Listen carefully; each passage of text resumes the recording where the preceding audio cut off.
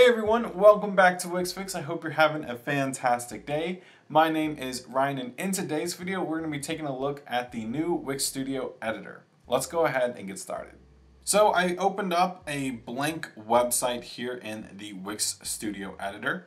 And initially, this reminds me a lot of Figma, if I'm being completely honest. Just the minimalistic design and everything just makes me feel a lot more at home because when I design websites, I typically do them in Figma. So just having this design already is really cool to me. Um, I just like the minimalistic look and feel of this editor. But interestingly enough, the minimalistic simple look does not mean that there is a lack of features that Editor X had. Everything basically is still here, it just looks really, really sleek. But I figured we could start from the left to right to kind of discuss everything that's inside the editor. Over here on the left, we have the add panel. If you've used Wix or Editor X, you're already pretty familiar with this. This is more in line with Editor X's add panel because it has this quick add with containers, repeaters, and stuff like that all right here what I will say is it doesn't look like there's any layouters here in the Wix Studio. So if you are used to having layouters, I don't really see those anymore. And to be completely honest, I rarely ever use layouters myself. I always used grids and repeaters anyway. So to me, it's not even like a huge deal. So my initial thoughts on no layouters is perfectly fine. I don't really, like I said, like I really didn't even really use them in Editor X anyway. Um, I just stuck to grids and repeaters for the most part. But everything else here in the add panel seems to be exactly the same as Editor X. Underneath the add panel, we have the layers panel. So if you're used to Editor X, you're probably already used to the layers panel.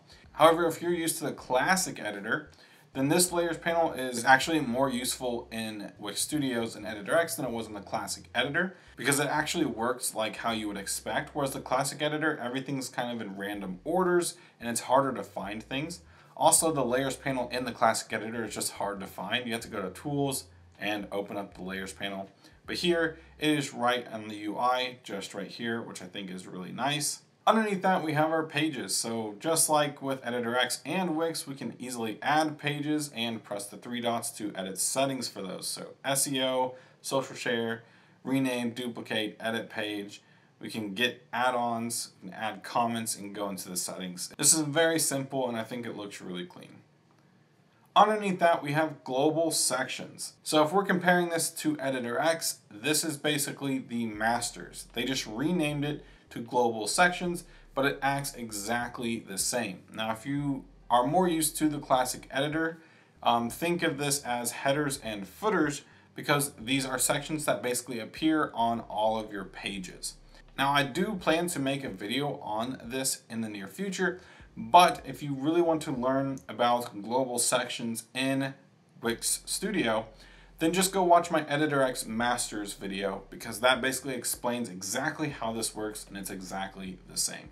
Underneath that, we have our site styles. So this is where we change our fonts, our colors, and stuff like that for our website. Again, this basically acts exactly the same as Editor X. And if you have libraries and stuff like that, you can press more styles and you can save to a library or open libraries and basically bring over fonts and colors from another website or library.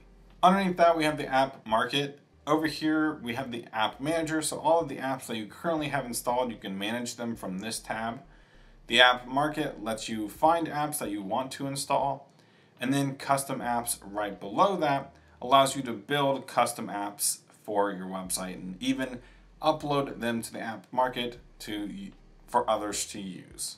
Underneath the app market is CMS. Again, this is something that works almost identically to the Wix and Editor X CMS. There's really not going to be any changes here. And then below that we have the code panel. Something that I really do find interesting about this is that it's on the side now. So if I go ahead and press start coding, instead of the coding panel being at the bottom and stretching the full width of the screen, it's now over here on the left. Now some of you might be saying like it's covering up half the website. How am I supposed to edit the design or select something to code? And the cool thing is, is it allows us to scroll over. So we can easily just kind of change this. And even though I haven't talked about this quite yet, We can even come over to zoom and we can zoom out and be able to select items here, especially if we're still kind of designing them inside of the inspector panel, which again, I haven't really talked about quite yet. But I really do like the way that this coding panel looks. Right here at the top, we have the page code. So we're on the home page. So any code in here would only affect items on the home page. Then we have global code.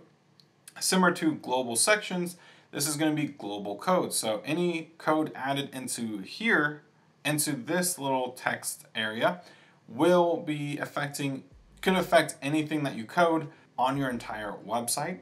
And then below that we have CSS. Now CSS allows us to design things on our website and I'm going to be making a video on that here pretty soon. But we can go ahead and close out of that because we basically covered everything that you really need to know over here on this left bar. However, there are some icons down here at the very bottom.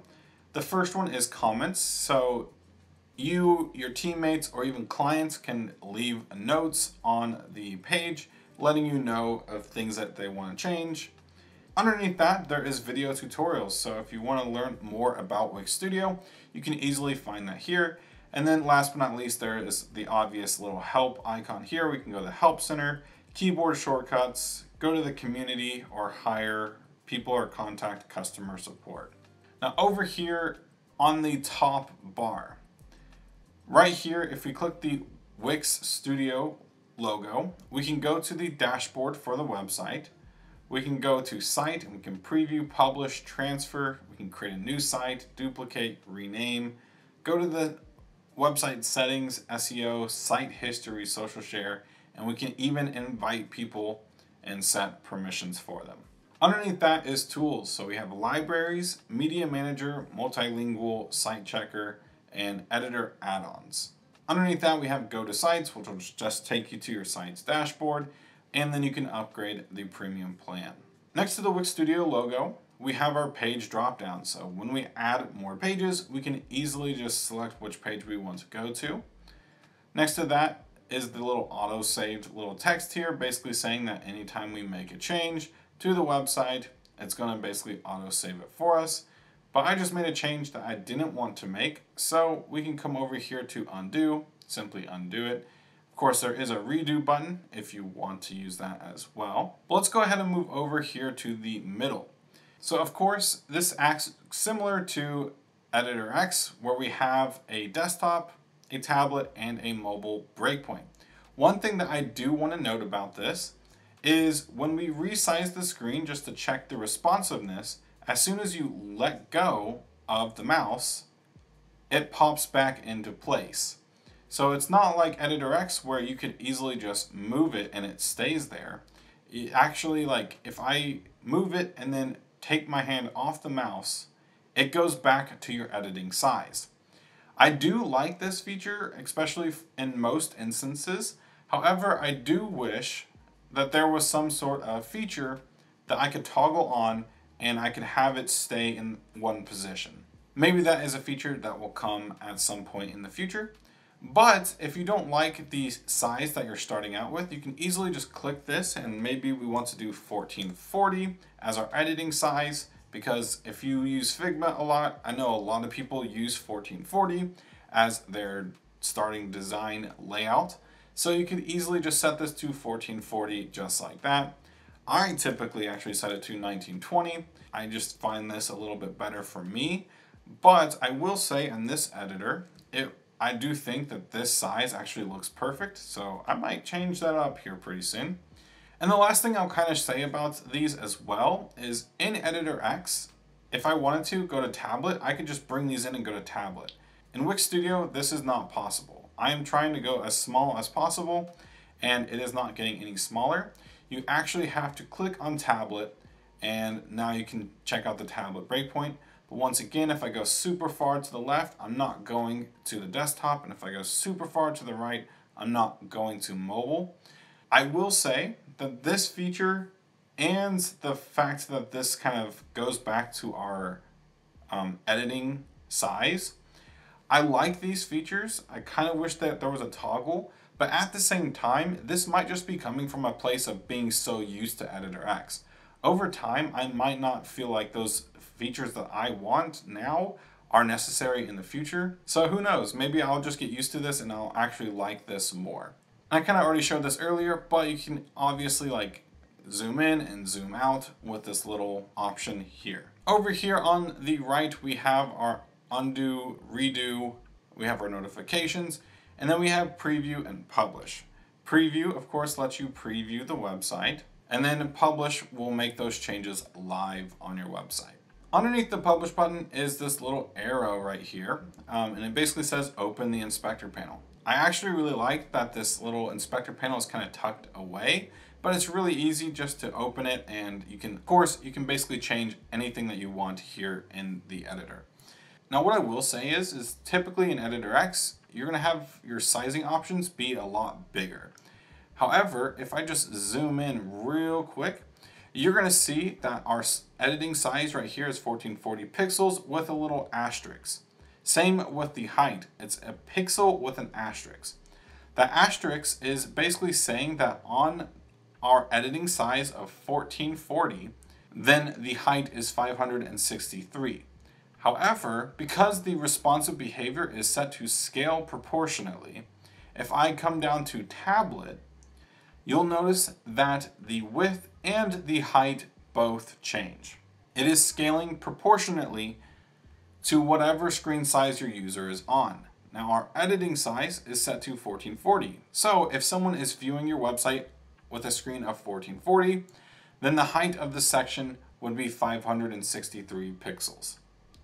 However, for someone on a smaller screen size, the height would be a little bit smaller. But it still would be relative to this 563 from our editing, editing size of 1440. I hope that kind of makes sense. But of course we can also change the responsive behavior by setting it to a fixed height or fixed to screen.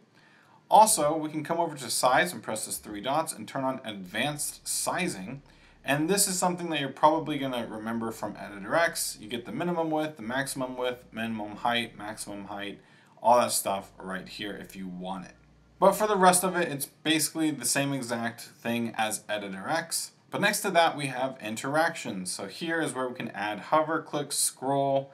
Um, depending on the element that we have selected, we're to have other options. So if I drag out this little icon, we can do entrance, and loop animations as well. And the last thing we'll cover is CMS connections. So we can add a data set and connect things right from the inspector panel now. I actually think that that's really, really cool. And I'll be sure to make a video on that very, very soon. But this is basically everything you really need to know about the Wix Studio Editor. I'm very interested to hear what you guys think of this editor. If you guys like it or prefer like the Editor X layout, I'm very interested. So be sure to leave comments below on your thoughts of this new Wix Studio Editor. But that's basically going to wrap it up for today's video. If you all did enjoy, please consider giving this video a like and subscribing to the channel for more Wix Studio content coming out really soon. Thank you all again, and I'll see you in the next one.